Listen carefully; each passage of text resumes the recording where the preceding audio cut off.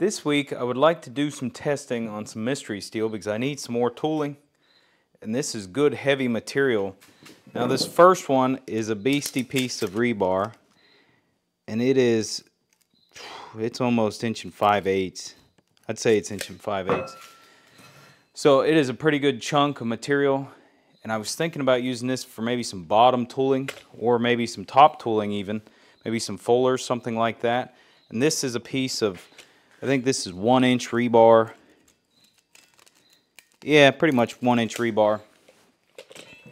I want to see what these are made of. Now most of these are probably an alloy, probably not the greatest steel, but if it will halfway harden, I will use it as a top tool. Now the best way that I know how to do this test is I'm going to cut little slivers off of each piece, try to keep them consistent. I'll probably do a couple just to, so I can test them, make sure the heating's right, and I'm going to test them in water, and if they break in water after I harden them, then there's a pretty good chance that I'll be able to use them. But if they just bend over, most likely they're just mild steel. Alright, I have these cut. I split the big one down the middle on one of the pieces.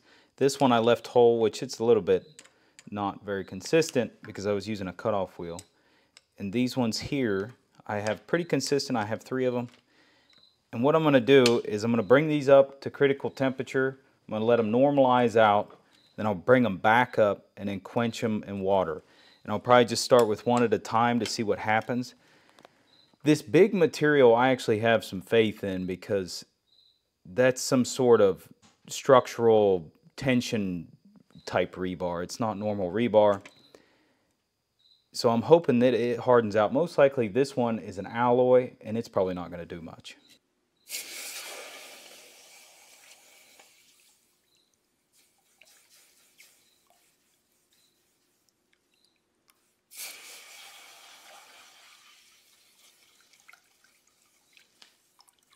Okay, first glance, looks pretty good. I didn't see any cracks in it.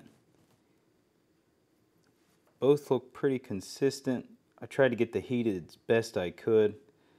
Just doing it by hand's a little rough, but do a file test.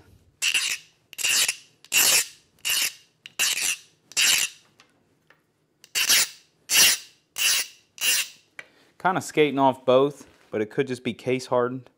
So I'm going to put them in the vise and see what happens.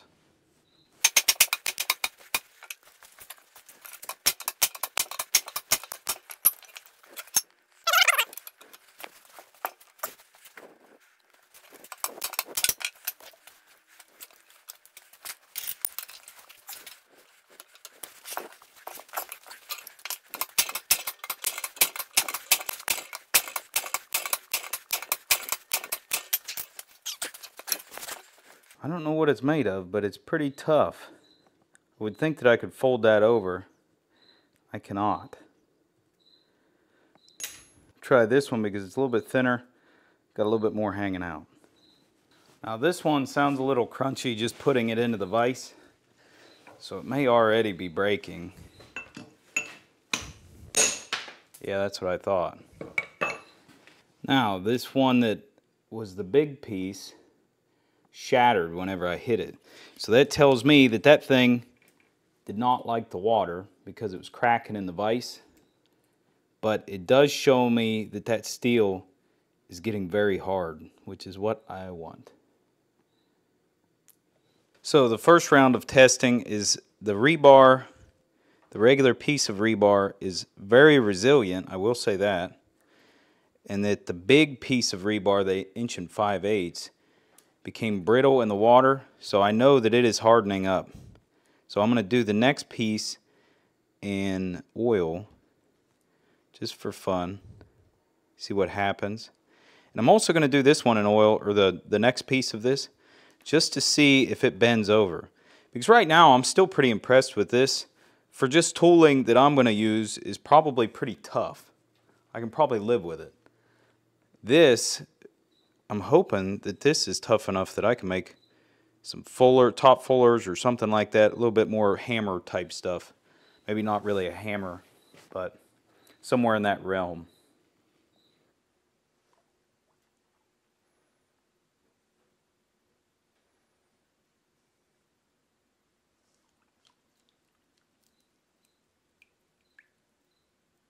All right, there's no visible cracks in either one of these. And this is obviously the one inch rebar. This is the inch and five eighths. And we'll see what happens. File's still skating, but it feels a little bit more grabby maybe on the one inch. Still wants to skate though, so like I said, that could still be just case hardened.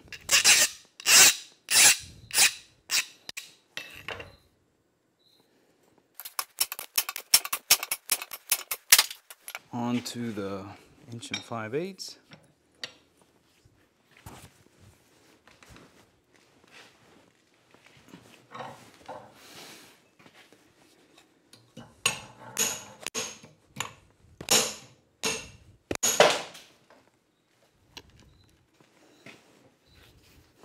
It's pretty clean break. I'm going to try it one more time just to make sure it's consistent.